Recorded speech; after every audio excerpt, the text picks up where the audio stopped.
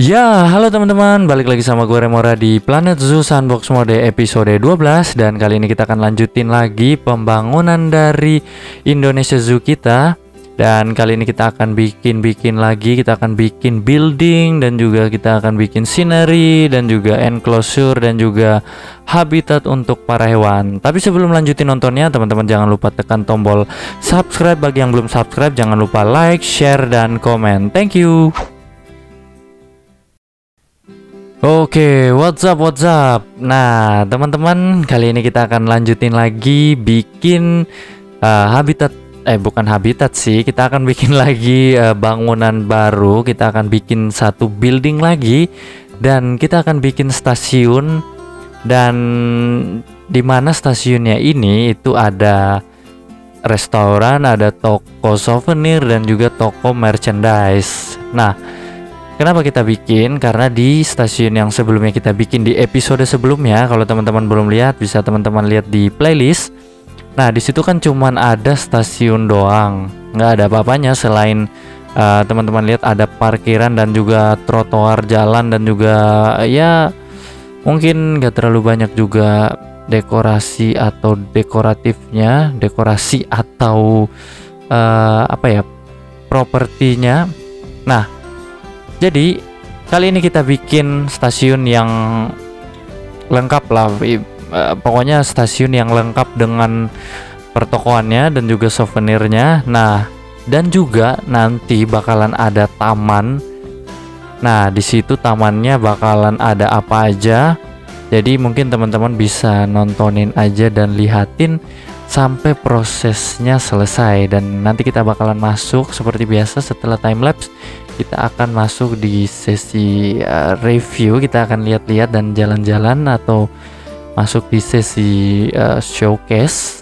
Nah di situ nanti bakalan kita keliling-keliling dan juga mungkin kita akan baca komentar-komentar dan saran kalian dan juga mungkin kita akan lihat ke beberapa kandang. Karena gue lihat kemarin di beberapa komentar dan saran itu kalian pengen dibuatin kandang e, benggala, cita dan macam-macam ya. Ya karena di sini seperti yang gue bilang sebelumnya untuk kandang harimau-nya itu kan kita sudah punya kandang harimau.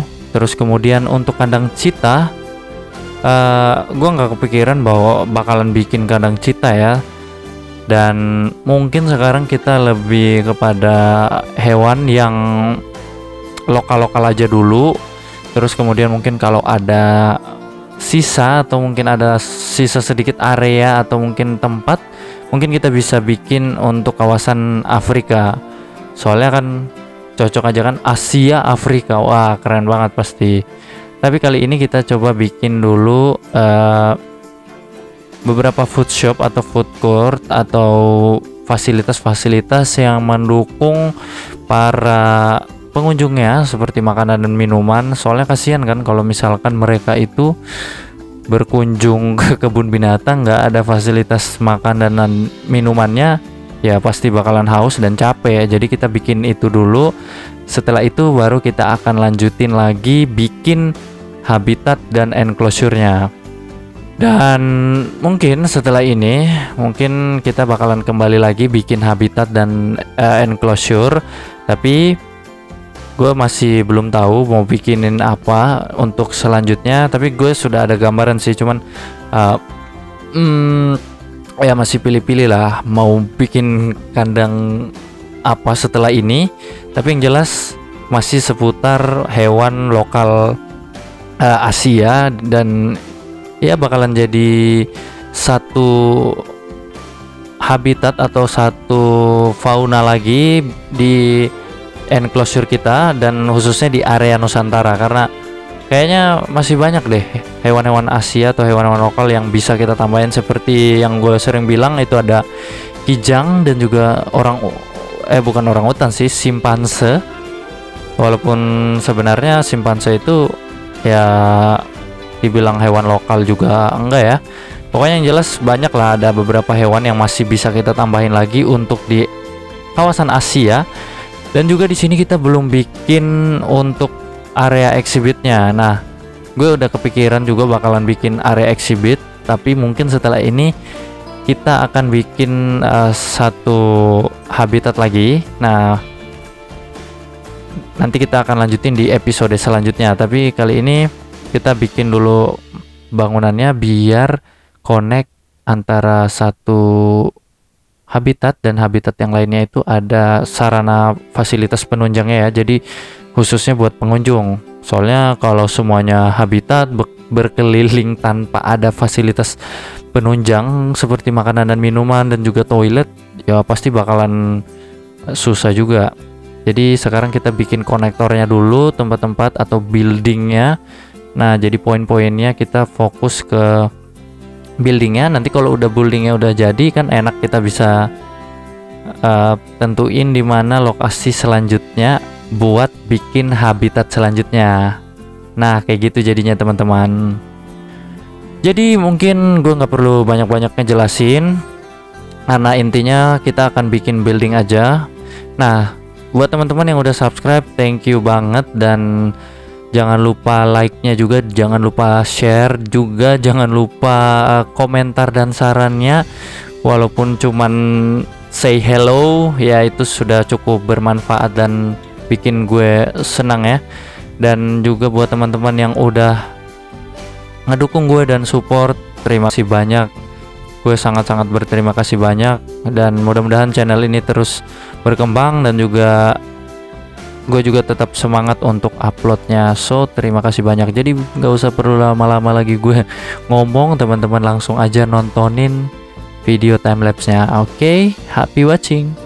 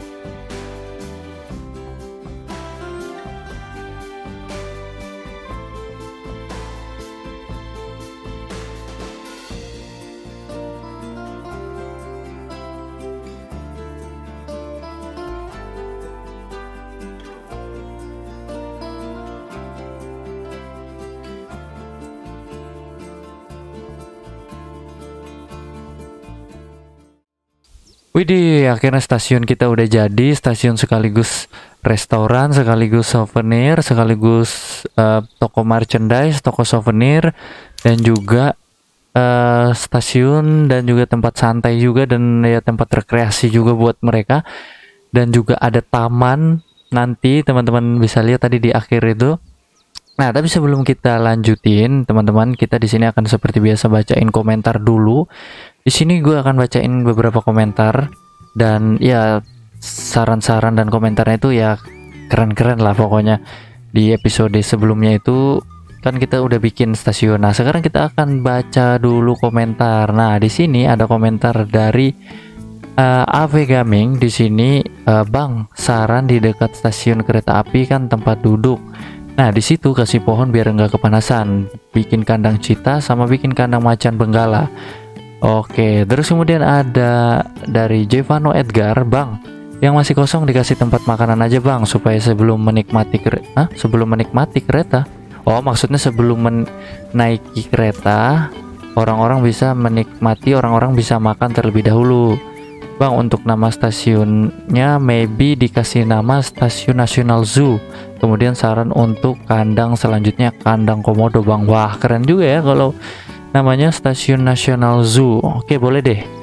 Hmm, terus kemudian ada Dava 4112, Amri 212 ini juga uh, top komen. Ini udah sering banget komen.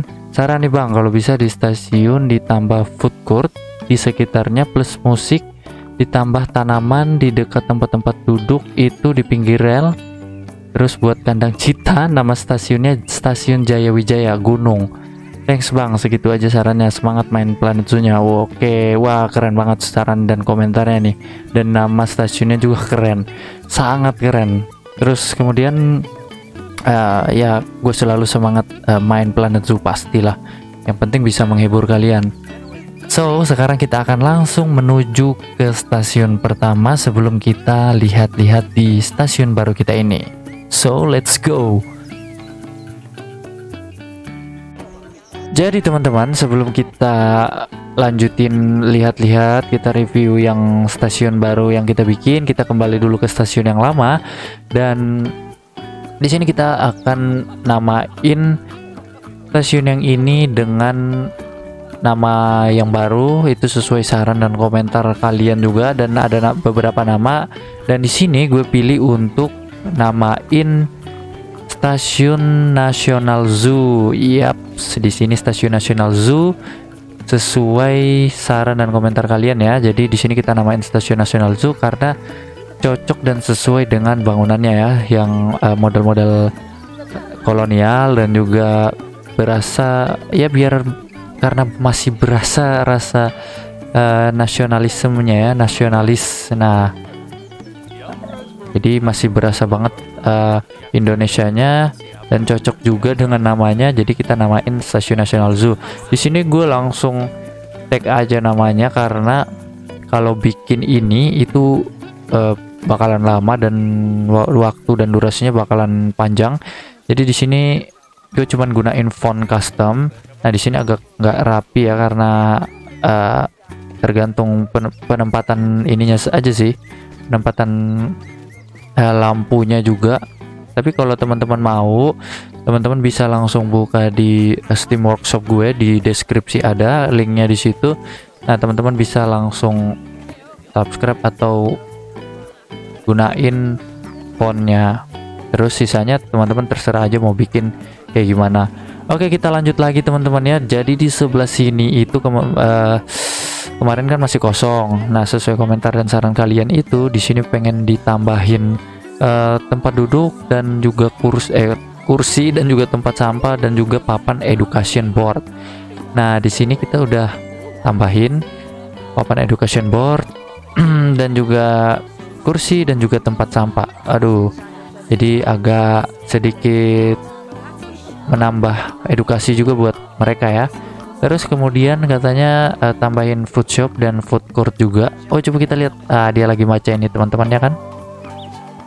Dia lagi baca nih. Nah, habis baca ya antri dong. Nah, kemudian di samping kita udah nambahin uh, education board dan juga tempat duduk kita juga udah nambahin food shop dan food court nah teman-teman lihat sendiri di hadapan kita ini food court dan food shop jadi ada uh, coba kita close dulu. Di sini ada cosmic cow dan juga gulpe ya. Dan juga di sini bangunannya itu ada atap-atapnya ada kanopinya. Jadi biar mengcover mereka dari panasnya matahari. Di sini juga ada pohon yang rindang jadi mereka nggak kepanasan. Dan ya adem lah jadinya. Jadi kalau lagi banyak yang antri bisa duduk di sini. Mungkin coba kita duduk dulu. Yep lihat banyak yang antri kan? Dan ah, sebenarnya gue nggak percaya sih ya pas buka di sini itu bakalan ramai kayak gini. Luar biasa banget. Gue pikir buka di dekat stasiun malah nggak ada orang eh ternyata malah banyak yang antri wah.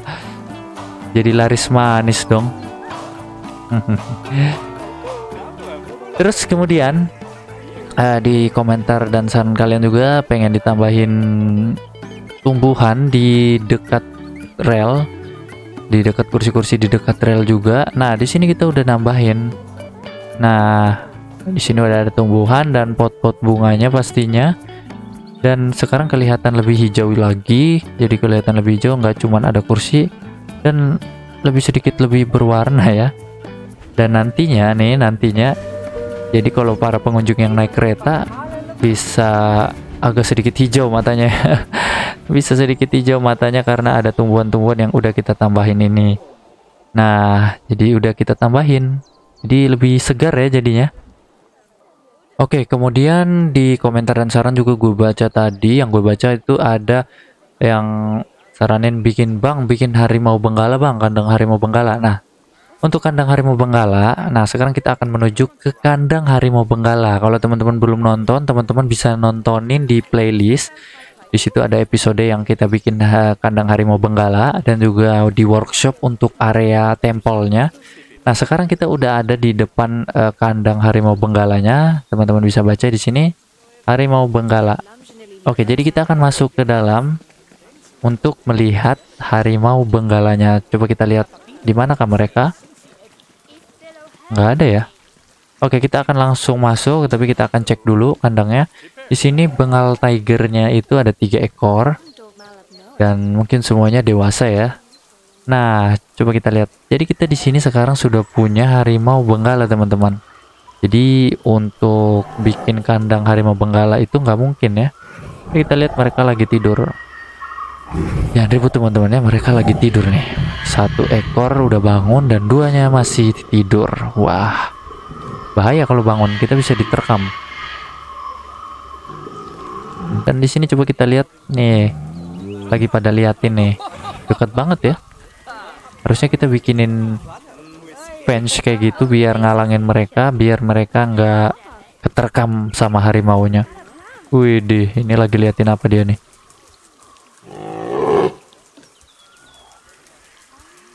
Oh dia lagi main air teman-teman ya main air dan juga mungkin mau berenang. Atau nungguin teman. Oh dia nungguin temannya. Ini temannya datang nih. Coba kita lihat.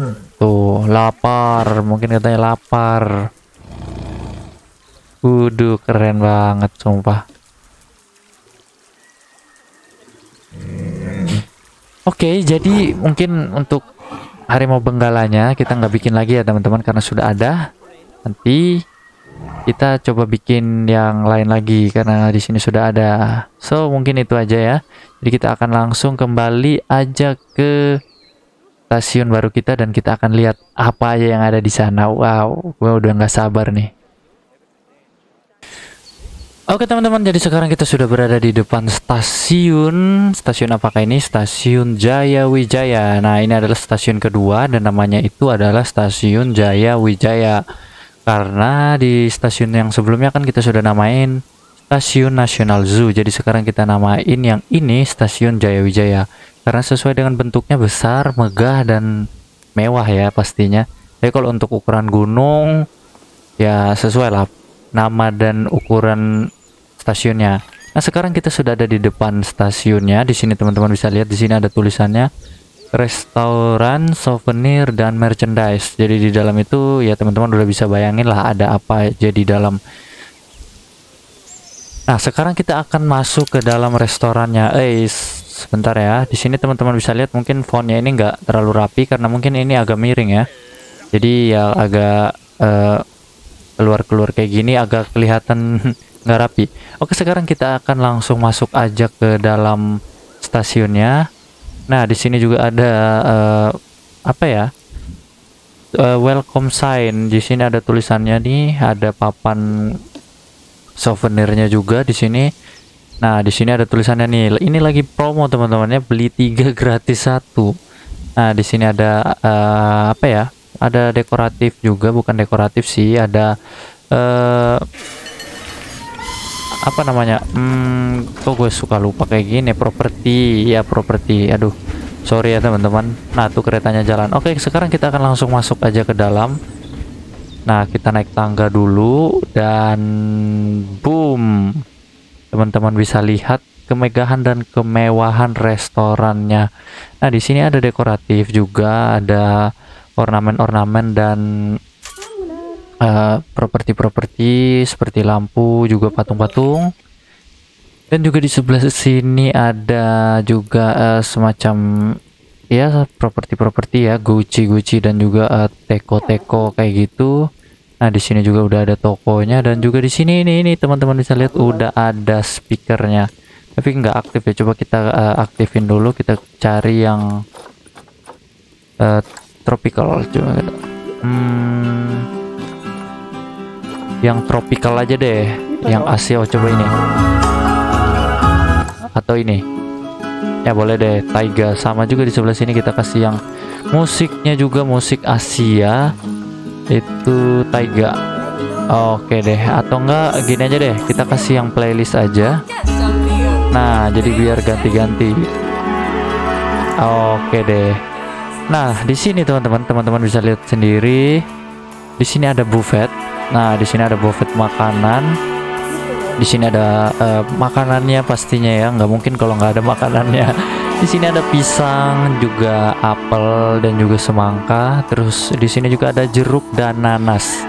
Nah dan ini ini buffet yang ini khusus buat pengunjung-pengunjung uh, VVIP atau VIP ya. Jadi kalau yang VVIP bolehlah menikmati uh, makanan ini sepuasnya. Dan juga bisa pesan di sini untuk yang pengunjung biasa. Kalau VVIP boleh makan di sini. Dan di sini juga ada saus-sausnya. Teman-teman bisa lihat di sini ada saus-sausnya juga. Ini bisa dibikin rujak nih teman-teman ya. Kalau teman-teman mau bisa langsung bikinin rujak aja. Ini udah ada sausnya terus di sini juga ada uh, uh, tempat air ya di sini buat tempat air minum cuman nggak ada gelasnya soalnya nggak ada material-material kecil buat bikinin gelasnya Nah, terus kemudian di sebelah sini juga ada buffet buat souvenir dan merchandise. Nah, teman-teman bisa lihat di sini kan ada uh, boneka panda. Coba lihat. Nah, boneka panda. Tunggu bentar ya kita matiin dulu. Kayaknya lebih gede suara musiknya deh daripada suara gue. Nah di sini ada boneka panda terus di sini juga ada parcelet eh parceletnya nggak ada deh. Ini cuman kalung-kalung doang kalung-kalung Afrika kayak gitu. Terus di sini juga ada kos kaki tapi sayangnya ini kos kaki musim dingin sayangnya kita di Asia khususnya Asia Tenggara nggak ada musim dingin ya. Jadi ya udahlah nggak apa-apa siapa tahu ada yang mau beli kan lumayan buat pemasukan kebun binatangnya. Terus di sini juga ada patung-patung jerapah kecil terus ada alat musik Afrika juga jimbe terus ada merchandise souvenir-souvenir. Nah kemudian di sebelah sini di sebelah sini teman-teman bisa lihat ini ada poster-poster. Nah di sini ada banyak macam poster jadi buat pengunjungnya kan sayang banget tuh kalau udah sampai di kebun binatang nggak beli poster atau souvenir. Nah ini udah bisa dibeli nih. Ini ada souvenir dan posternya juga. Ada macam-macam sih sebenarnya. Ada uh, harimau terus ada ular juga ada merak terus ini ada gajah sama ada ular. Pokoknya ada banyak macam deh teman-teman ya. Nah sekarang kita akan lihat bagian atasnya nih. Sebenarnya ini agak lebih uh, lebih detailnya itu agak kurang sih. Sebenarnya nggak terlalu detail amat. Cuma di sini ada kipas. Nah jadi para pengunjung yang datang nggak kepanasan lagi nggak akan kepanasan ya. Terus di sini juga ada lampu-lampu model-model jadul kayak gitu. Nah terus yang bagian atasnya ini dekoratif-dekoratif bagian plafon atasnya ini langit-langitnya itu sebenarnya inspirasinya dari rumah-rumah Jawa ya. Cuman gue nggak tahu ini modelnya model apa. Mungkin teman-teman yang tahu ya bisa ngerti lah. Cuman ya ini inspirasinya dari sana sih. Sama juga di sebelah sini cuman di sini lampunya itu lampu-lampu yang agak uh, lagi uh, lampu-lampu yang agak besar ya. Hmm, nah terus ada kipas-kipas juga kipas angin nah terus ada lampu ya lampu-lampu klasik kayak gitu. Nah terus di sini juga ada dekoratif-dekoratif ada properti juga buat uh, memisahkan antara area yang ini sama yang ini. Nah di sini mungkin kita akan tambahin uh, mungkin kita akan tambahin dulu kursi atau tempat makan ya jadi mereka biar bisa santai atau duduk di sini mungkin kalau pas lagi mau makan. Kita akan kasih di sini satu di sini juga satu sini satu di sini di sini juga sebelah sini terus di sebelah sini juga. Nah jadi mereka kalau mau makan atau bersantai udah ada nih udah ada tempatnya. Jadi memang di sini khusus mereka makan. Nanti kita bakalan lihat apakah mereka bakalan duduk di sini. Mungkin juga bisa bakalan duduk di sini atau mungkin mereka mau duduk di tempat lain? Jelas mereka nggak susah-susah lagi nyari tempat duduk. Sekarang kita akan coba turun ke bawah. Nah kita akan lewat dari pintu sebelah sini. Dan sekarang kita sudah ada di uh, daerah tamannya ya ini. Taman bawah. Nah di bawahnya ini kan ada stasiun juga nih teman-teman bisa lihat Nah, jadi kalau turun, jadi bisa langsung liatin uh, keretanya. Jadi or orang pada naik kereta kita bisa liatin. Cuman kita nggak bisa punya ke, ke situ ya, nggak punya akses ke sini supaya orang tuh eh, nggak uh, langsung naik ke situ. Jadi harus lewat depan. Nah, sekarang kita lewat sini, kita akan jalan sedikit. Nah, ini teman-teman bisa lihat di sini itu adalah Red Panda Show. Nah, tadi kan teman-teman udah lihat di time lapse uh, yang terakhir-terakhir kita bikin tuh. Nah, ini dia nih.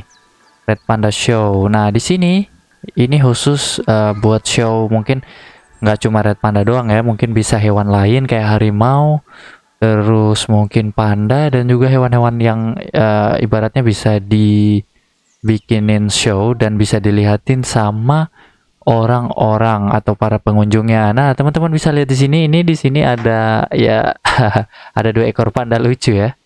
Dan ini sih cuman uh, properti dan dekoratif doang.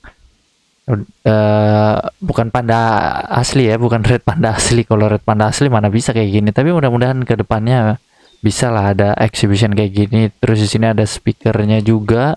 Cuman di sini speakernya belum aktif. Nah, di sini di sini ada uh, apa ya ini bukan buat ngemis sih ini buat donasi aja. Uh, cuman papan namanya nggak ada ya nanti uh, coba kita tambahin deh. Nah di sini nih Red Panda Show.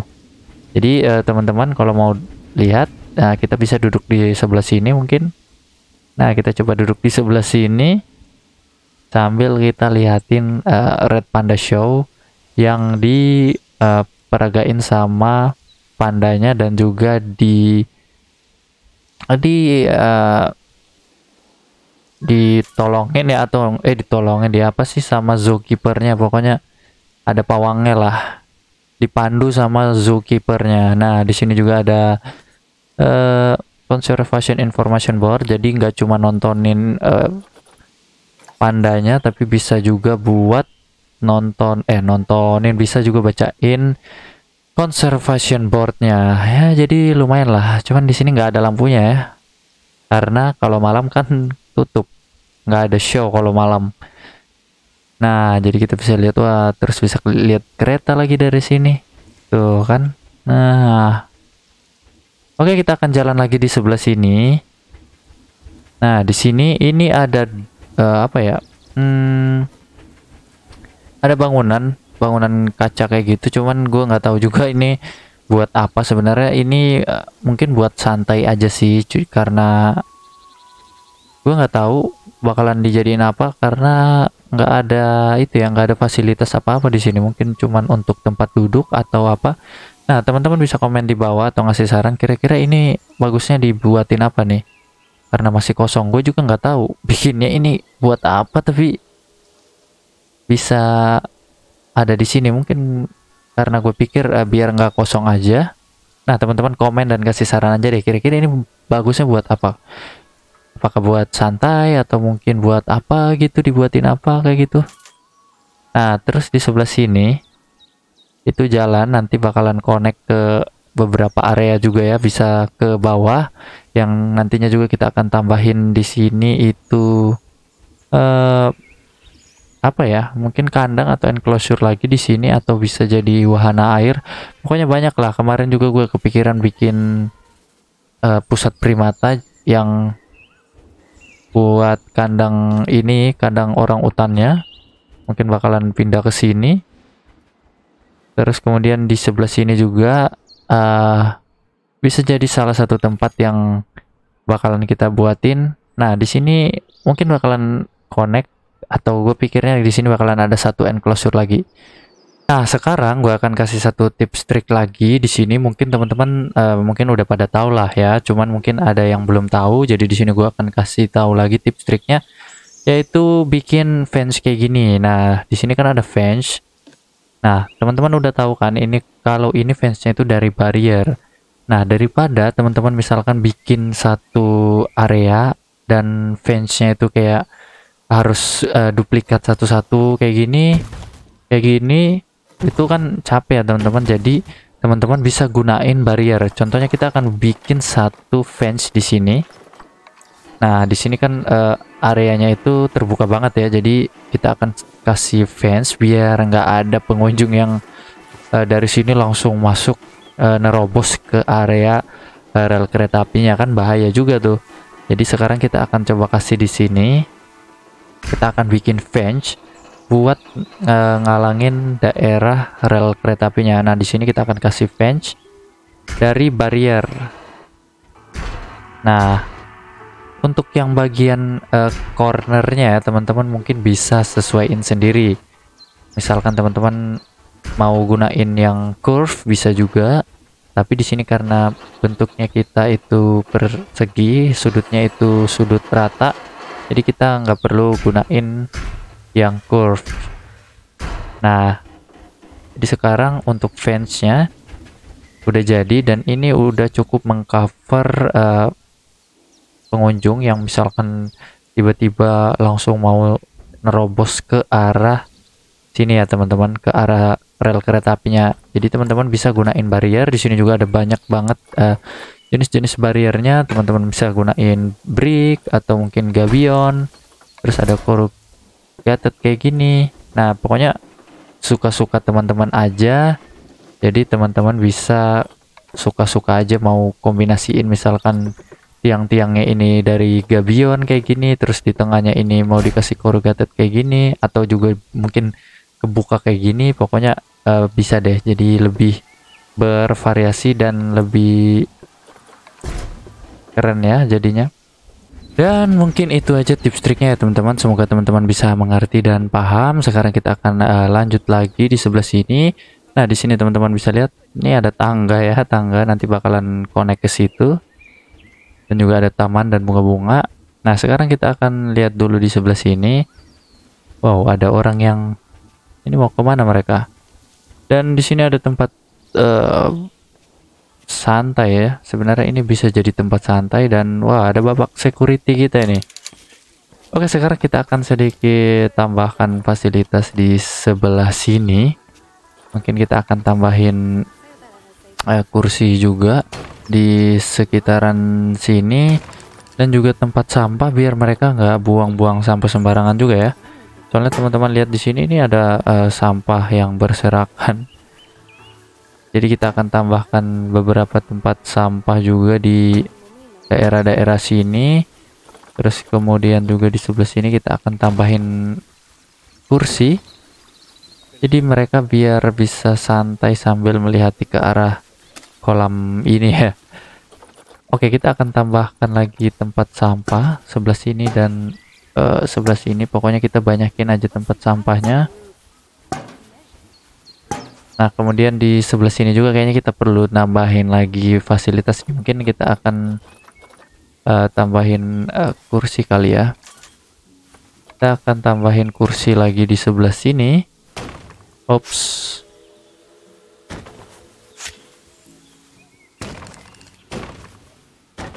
Dan juga tempat sampah pastinya. Tempat sampah itu kita nggak boleh lupa. Karena tempat sampah di planet zoo ini itu sangat penting. Soalnya cepet banget ya kalau udah ada sampah-sampah gitu cepat banget mereka ngebuangnya. Oke dia lagi duduk di sini di depan restorannya bersama anak-anaknya dan juga ini mana bapaknya? Oh bapaknya nyangkut ya